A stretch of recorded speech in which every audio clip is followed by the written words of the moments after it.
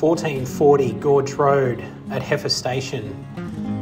This 2,110 acre holding is known as Wares and it's been held in the family of former Prime Minister Sir Earle Page for decades.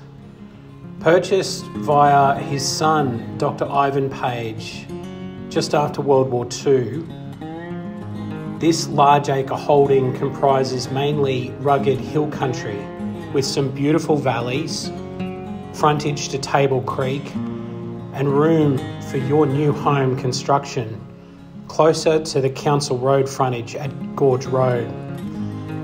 A new home constructed here would give you magnificent river views. 1440 Gorge Road at Heifer Station, available for sale now through McKimm's.